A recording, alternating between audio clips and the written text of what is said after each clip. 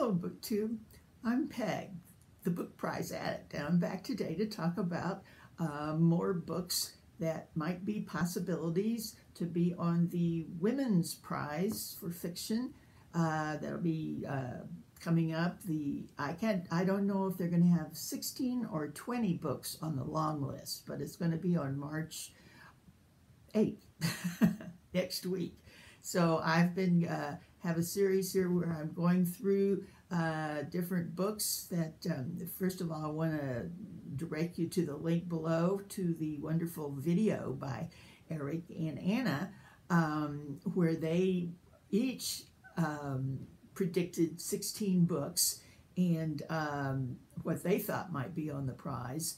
And uh, they're certainly more in tune with the contemporary uh, literary situation than I am. But I have had so much fun. I checked all their, just about all their books out from the library and have been reading at least 50 pages of it, reporting on them.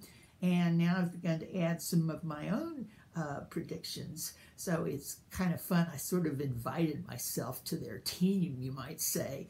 Um, one of the things I really like about BookTube is uh, finding out what younger people are into book-wise these days. I don't have any children or grandchildren, so this gives me a great chance to see what younger people are thinking and liking reading-wise and otherwise. So um, be sure to, some of you have been putting uh, comments on what books that appeal to you or you like, and I really enjoy that, hearing what you think about these. So please continue doing that. And I noticed that now Simon Savidge also has a uh, video up with his predictions for the for the prize. So we've got lots of books to talk about and look through um, here. Anyway, so let's get started with today's. Uh, the first one I have is a pick by Anna in the in her video called "We That Are Young." Um, by an Indian uh, author, um, and um, it actually takes place in India. Um, first of all, I want to say that I happen to have this book because it was on the Republic of Consciousness list. That's a that's a uh, prize that's still going on. They have their short list out now of uh, books by small publishers, and it has really done well. I've made uh, uh, several reviews on it, and I'll I need to review the the short list here shortly. But anyway, so it has done so well, and the the press is Gallery Galley Beggar Press, and uh, I've I've read some things that'll surely be picked up by uh, the paperback or the rights might be picked up by a larger press. I don't I don't know how that's done, but it's really done well uh, for the for the author and and for uh, the press. Um, as I said, it takes place in India, and it's actually a take on the King Lear story. There are three grown daughters and a father, and it's about a very wealthy part of uh, India. Uh, these are like billionaires that they own a hotel chain, and again, the father is uh, looking at the three daughters and they're thinking about who's going to inherit it. And they also have a male cousin who just comes back from the U.S. who plays a big part. And it's I, I really loved it. It's if you like seeing what rich people uh, get into and they fly all over the place in their own private jet in India. Uh, it's just it's just great and very colorful, and uh, I, I really like this a lot. Okay, so next we have one of Eric's picks called A Boy in Winter. Um, this is the, this is the, uh, it must be the paperback version or new version. I ordered it from, from uh, Book Depository back when it came out in England, and it had the boy's picture, but, but not all the uh, uh, kudos that it's gotten from other uh, other uh, critics that on the front, but that's fine, whatever. Anyway, it's a story. Um, I've only been able to read, I couldn't uh, get this at the library, so I've only been able to read a sample, but I do have some um, thoughts, and from what I've read for it, it's um, take it's a story historical novel about 1941 when uh, the German invasion of a small town in Ukraine, and this boy and other characters play a part in this. And one of the things I read in the comments, I don't think this is giving anything away. In fact, it might make you want to read it more. Is like halfway through, there's a death scene, death squad, the SS death squad, getting ready to start shooting at a group of, of Jewish people and uh, somehow what you expect doesn't happen and it's all upended and uh, they say that actually the writing is not all you know things of killing and torture that it is some mystery relieved by uh, flashes of light and humanity so that looks interesting okay next we have a book that was uh, picked by both Eric and Anna and myself, uh, Manhattan Beach.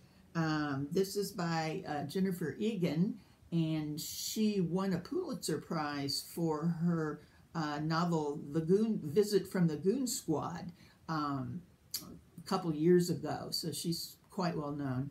Um, this one is, I think, actually quite a bit different from her former ones. It's more of a historical novel it takes place in uh, during World War II in New York, where um, the the woman main character uh, becomes a diver in the in the shipyards somehow, and um, I did know I have read like the first fifty pages of it, and I have to say it was very interesting how knowing what I did about what's going to happen just from you know reading the blurbs on it.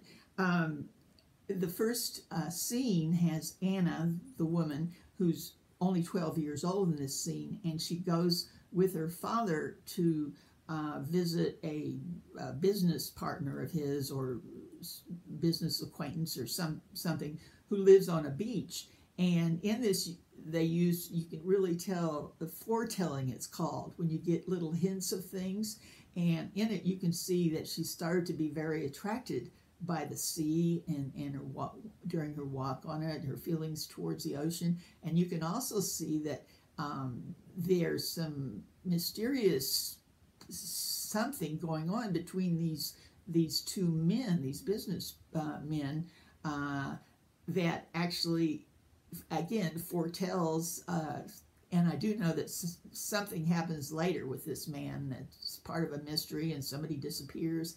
So uh, I, I'm I like it's interesting when I can get from just reading like a first part, uh, and I'm trying to look closer at the writing like that. So that was interesting. Okay, next we have oh, I've got some I've got some gossip on this one. It's called Asymmetry. You can't really see that's the uh, British version. I'll show you the American version, which is a little easier to see if it would turn right. Let's get it bigger. Okay, this is Asymmetry by Lisa Halliday, and this is her first book out, and um, it's actually in um, three sections. Maybe that's why it's called Asymmetry, uh, but um, it's about a young woman editor who has a romantic uh, relationship with a much older writer um, who works, I guess, for the same press or whatever.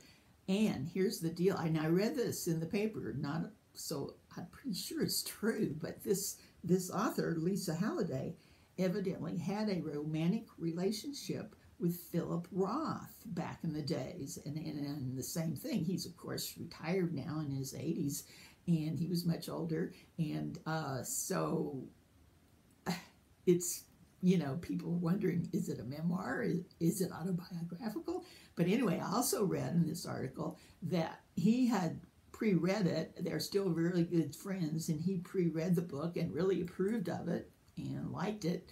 So uh, I thought that was interesting, and I'm, I'm really anxious to read more of this one. Okay, so that's all I have for today. I'll be back with more picks. Uh, meanwhile, there's some uh, awards coming, being announced as far as the selections. Tomorrow, March 1st, the uh, Walter Scott Historic Novel uh, Prize. They'll have their uh, long list out. And then uh, also, the long list for the Stella Prize has come out. Now, that's an Australian prize for the Best Women's Prize, Best Women's Writing in Australia.